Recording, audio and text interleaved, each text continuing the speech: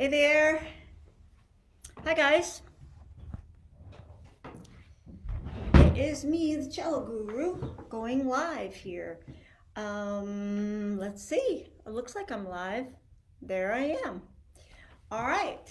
This is the first week of Celtic Cello Month. Yay! We're going to do some Celtic cello tunes. I've been seeing some really good results with my adult students when I throw them in the chord chart spot. So we're gonna do that in a minute. We're gonna work on dawning of the day. Does anyone have dawning of the day? If you don't have it, go get it out. And we're gonna talk about dawning of the day this week. We're gonna do a different one next week, a different one the next week. Um, some of these tunes we do more than once. That's because everybody's figuring out what's going on with them and we can always play them and learn new stuff about them, right? Just want to make sure everybody has a basic knowledge of what's going on with dawning of the day. Hey, everyone, right in there, who's here, because I can't see, and where you're, where you live, where you are right now. And we're going to talk about dawning of the day, okay? I wanted to tell you that I'm going to have a, a I'm going to have a class on Monday, August 8th, 2 p.m. PDT. It's going to be something about getting rid of your classical perfectionism to find a different part of your brain. That's what I'm on about for the last month or so. Um, because I'm finding some great results in people, really different than, I mean, I knew that people would be interested in chord chart reading, especially those that don't have any um, experience in chord chart reading, or maybe they don't even know what it is. Um, somebody last week was like, I had no idea that I had knowledge in this area. Like, I just thought that the composers of music were the only people who had anything to do with writing music. I didn't, I had no idea I could figure stuff out and make up my own parts with this chord chart. Someone said that to me last week people have been saying stuff like this. They're really engaging in a different part. Hello. I will not try to pronounce your name. Analuapo Oladele, right? Hi, how are you? Hi, Adrian. Ona, an, Analuapo. I said I wouldn't try.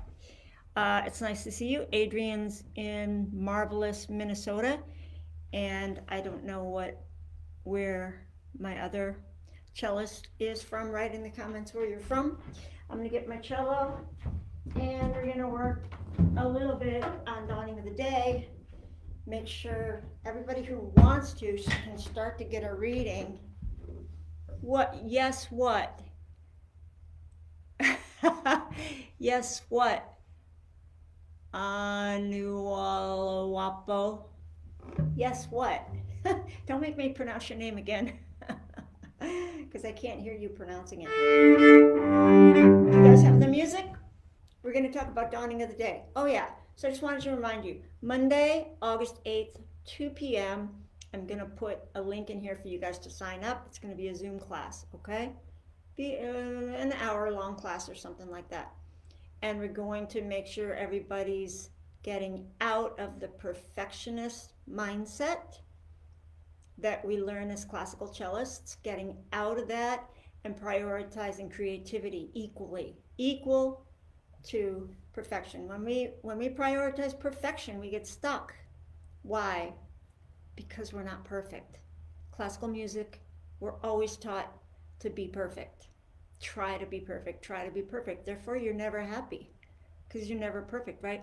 This other side of our brain, we're going to be prioritizing creativity finding your own voice, figuring out what you want to put in the music. hello, oh, from Nigeria, yeah, yeah, nice to see you. Um, that's a long ways away. Uh, we're going to be figuring out how to read the chord chart, what you want to be pu putting into it. You're going to meet yourself where you are. So if you think you can't do it, throw that idea out right now. Now, if you're in Suzuki Book 2 ish, then you already have some good techniques and you might have more knowledge than that from past music, music that you've done or something like that. Everybody comes to the table with a different amount of knowledge. Um, if you're very, very beginner, you might want to wait a little while on this until you get a little bit of knowledge.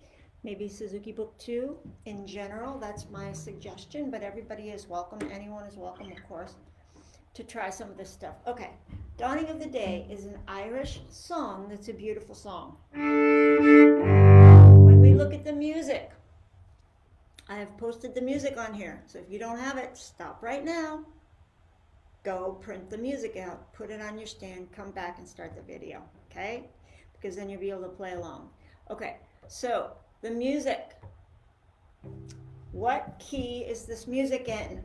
Somebody write in the comments. So you have to look and see certain uh, clues, right? What are the clues? Well, the first thing is who's buried in Grant's tomb? If you look at the music, it says D, right, in the middle of the two um, bass clefs, right? It says D. That means D chord. That means we're in the key of D.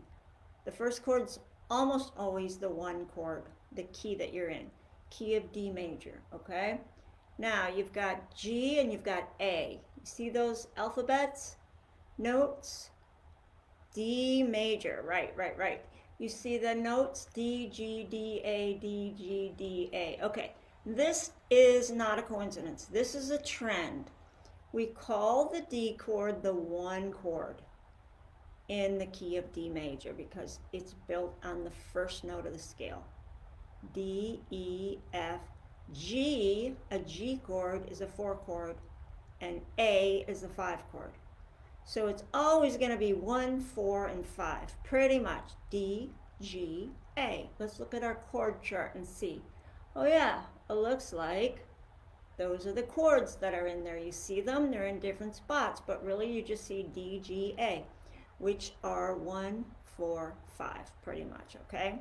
So those are the chords, and we're going to play the bass lines right now from those um, chords when we're playing our first time through.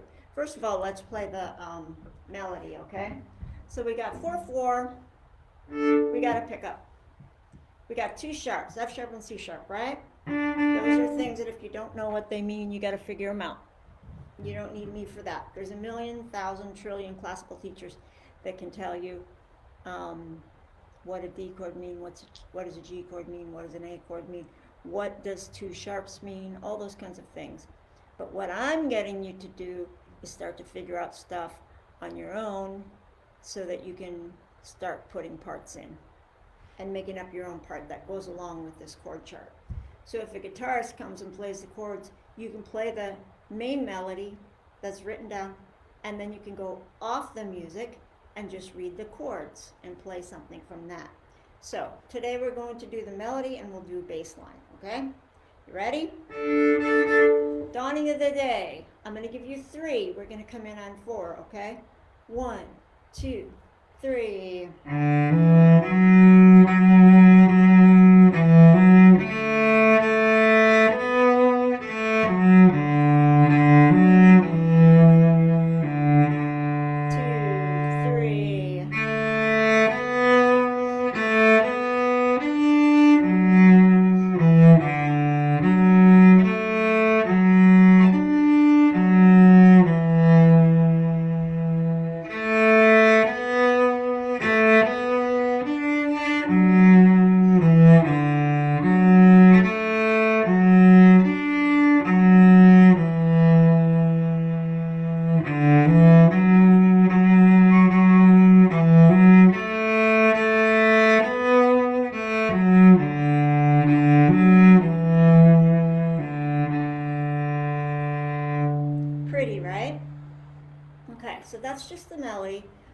Can read that. If not, you can work on it. Now, what are we going to do after we've played the melody for this? Well, for me, I'm going to look at the chords, see what notes I can add that are from the chords, the written chords like D, G, or A, right? So each chord uses one, three, five. So the D chord is D, F sharp, A. Because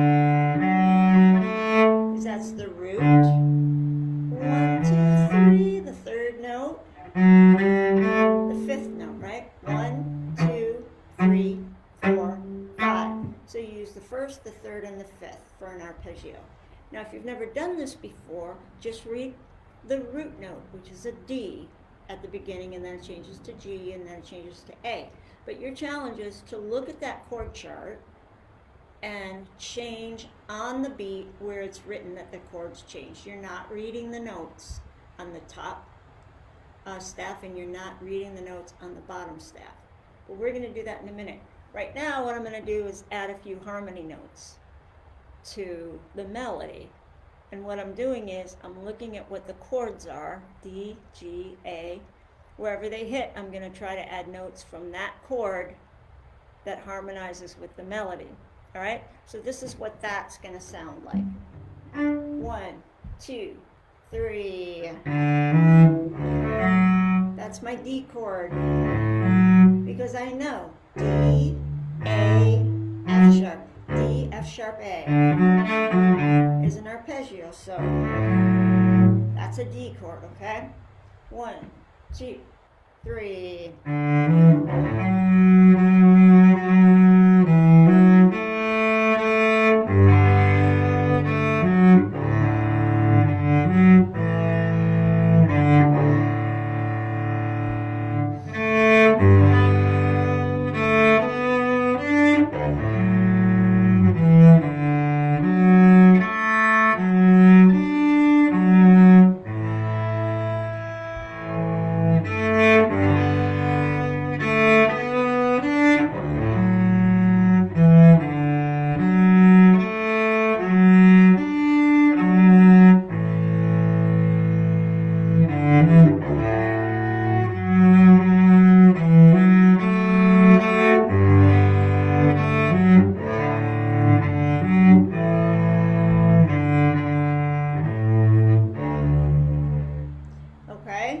Getting what I'm doing there?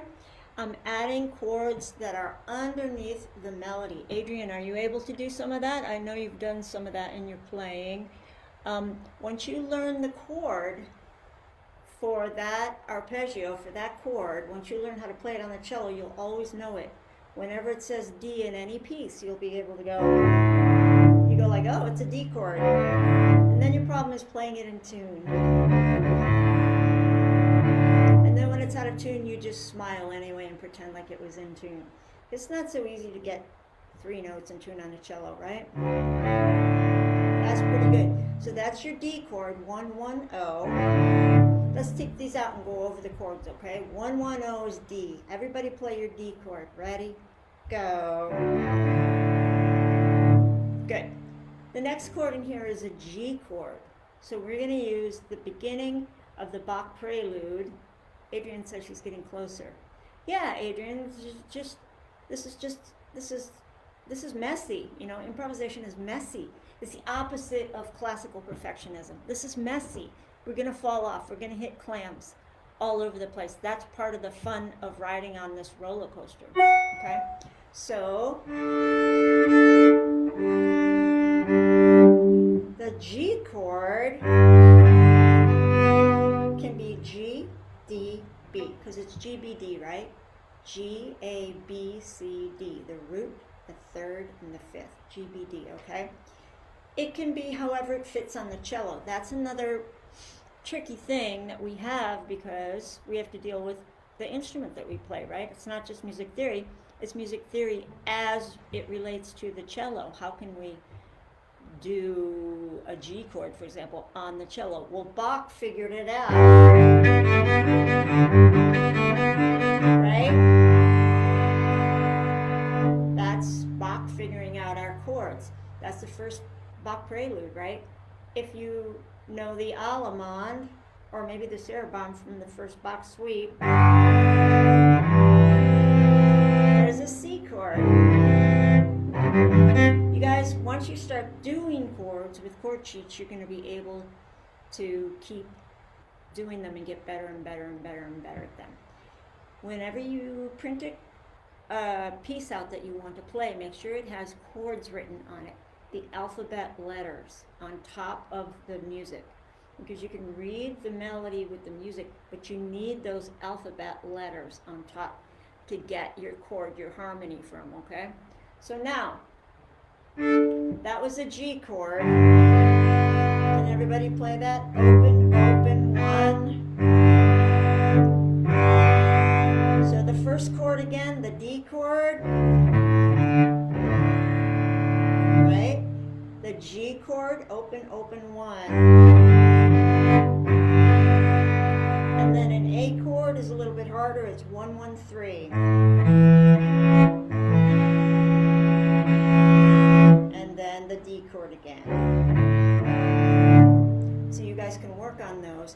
Time you see that letter, you play that.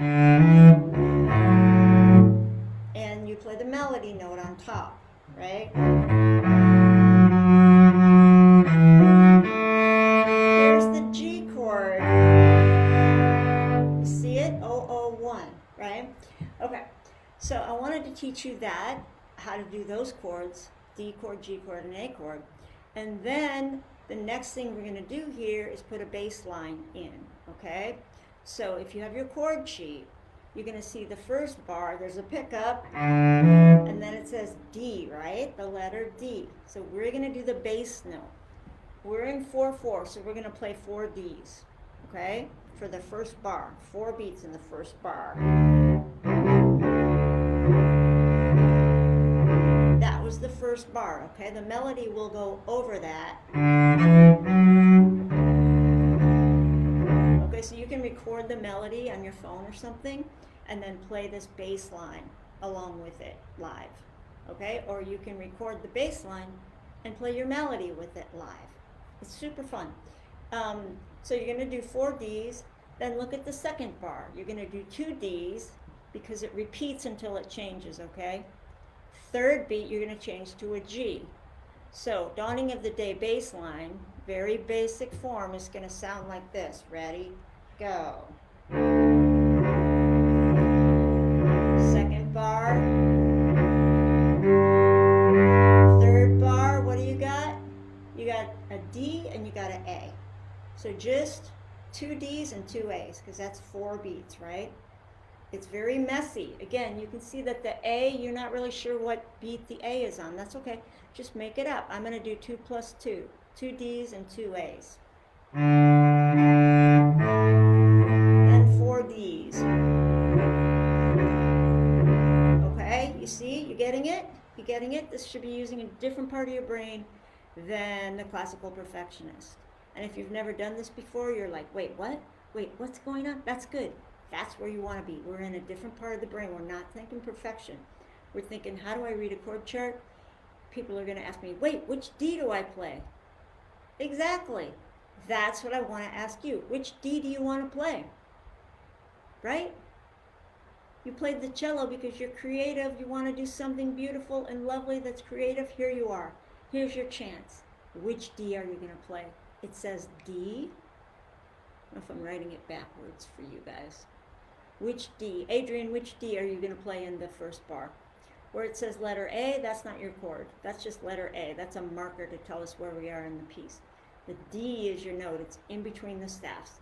Adrian, are you going to do the D, this one, the low one? Or are you going to do the open one? You're going to do this one?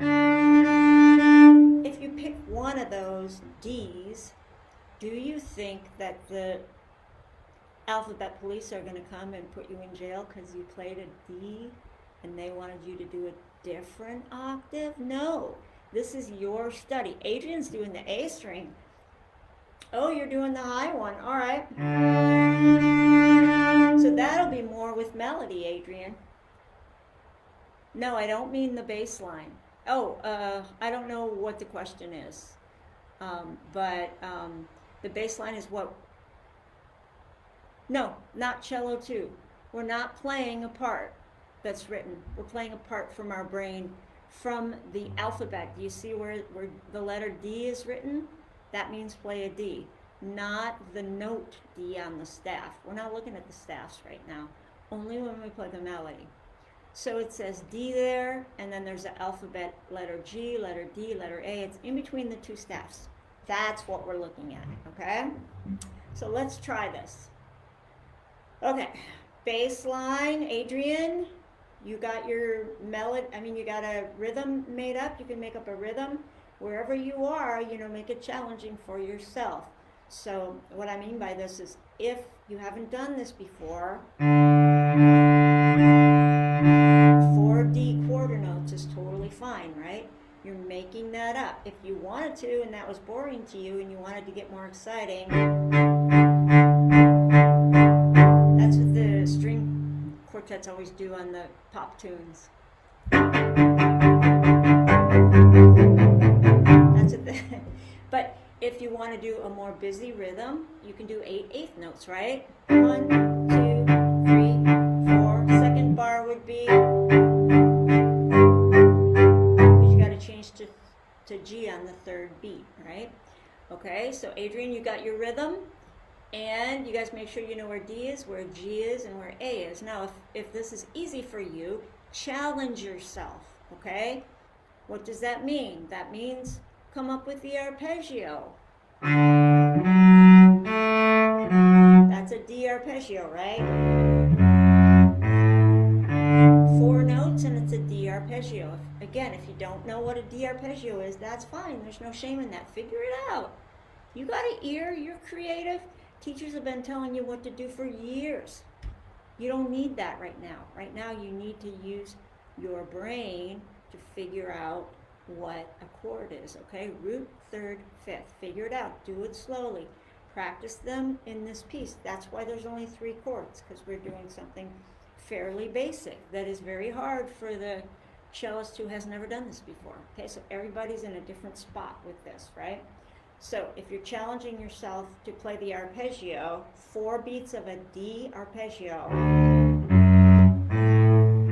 then two beats of D, then two beats of G, two beats of D, and two beats of A. If you wanted to do eighth notes,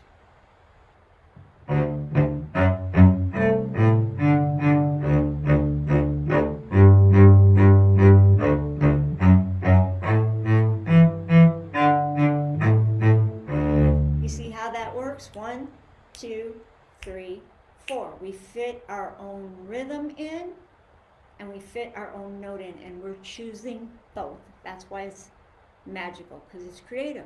And you're playing a part that's never been done before because you're making it up right now. Okay?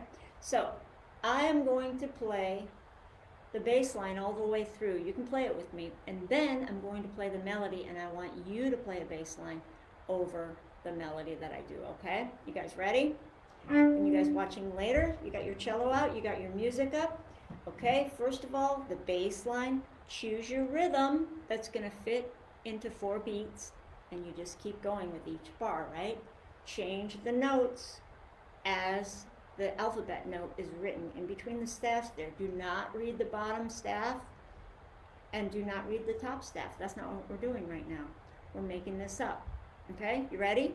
We're reading the alphabet notes. One, two, three, four.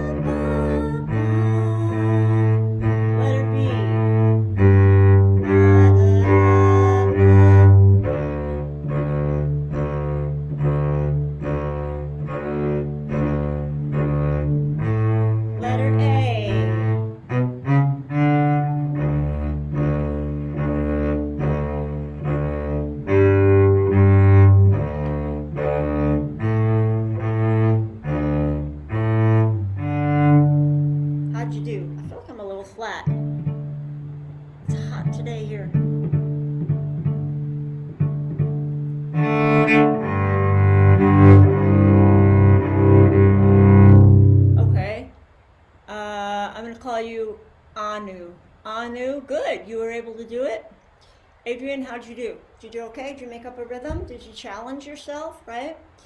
Because being bored doesn't help any of us. You're bored and then you're not progressing forward, right? So you want to make it a little bit challenging for yourself. So if I were going to challenge myself with arpeggios, I might be.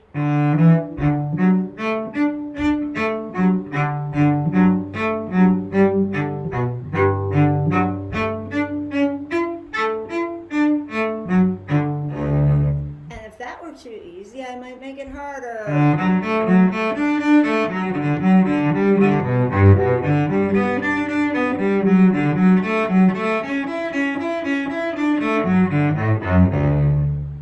Something like that, right? You can always push yourself to do something harder, okay? So now I'm going to play the melody and I want you guys to play a bass line and have fun with it. Allow yourself to wipe out because you will. When you're trying new things, you're going to wipe out left and right and then you jump right back on the train, okay? You guys ready? Everybody who's watching this later, I want you to write in the comments and let me know how you did after you try this, okay? This is so fun. This is using a different part of our brain. This is going to break you out of being stuck in the pursuit for perfection that we, as classical musicians, we we get stuck in a lot, right? So let's try it. You guys ready? You're going to do the bass line. Which D are you going to choose? I don't know. You tell you tell me. You do it. You figure it out. You are the creator of your part. Okay, you ready? Okay. And I'm going to put the chords in with mine so it's really pretty. You make your bass line how you want it to sound against mine. One, two, three.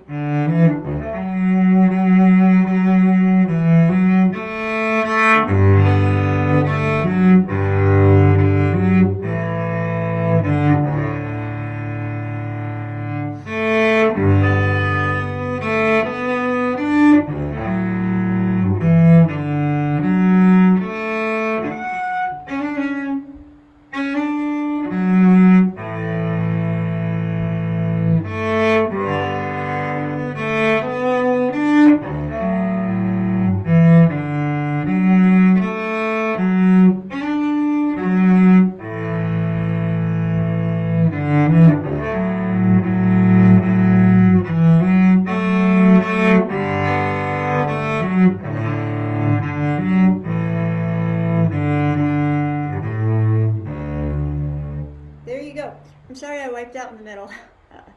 I was trying something. I was trying to put a little, and it messed me up a little. Uh, which means that's what happens. We try, try stuff and we wipe out. But then I got better. Um, Adrian's got her thumb up, which means she's able to do it. Okay? The harder you make your part, the more challenged you are. Don't make it too hard or you won't continue to do it. This is going to use a different side of your brain. So I just wanted to tell you what we learned today.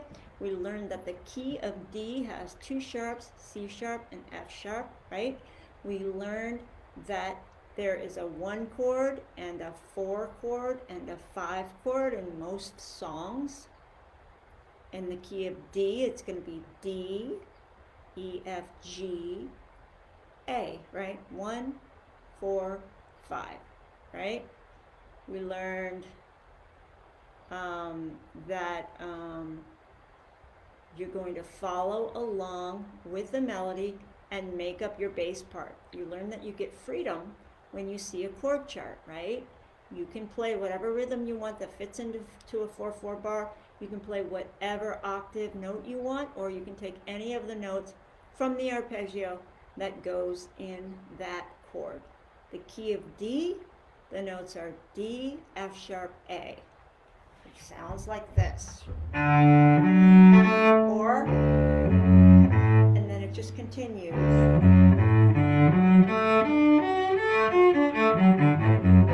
Those are all the same notes. D, F sharp, A, D, F sharp, A. Okay? The, the chord of G is G, B, D. Remember one, three, five. G, A, B, C, D. One, three, five. G, B, D. G, B, D, G, B, D. Just keeps going up, okay? You can start at the top and come down. You can start at the bottom and go up. Do it however you want to. And then the third chord in this key is A, C sharp, E.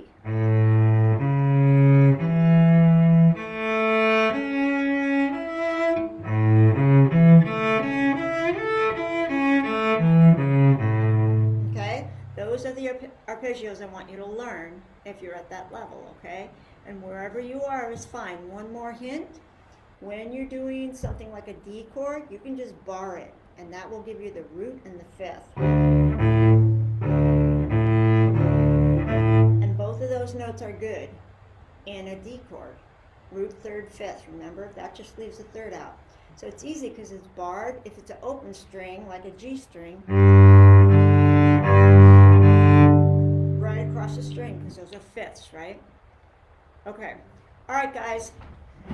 Let me know how you did today, right? In the comments. And I want you guys to watch this and I want you guys to start thinking from a different side of your brain so that you have something else to practice other than your classical pieces and print them up right from Cello Nation, okay?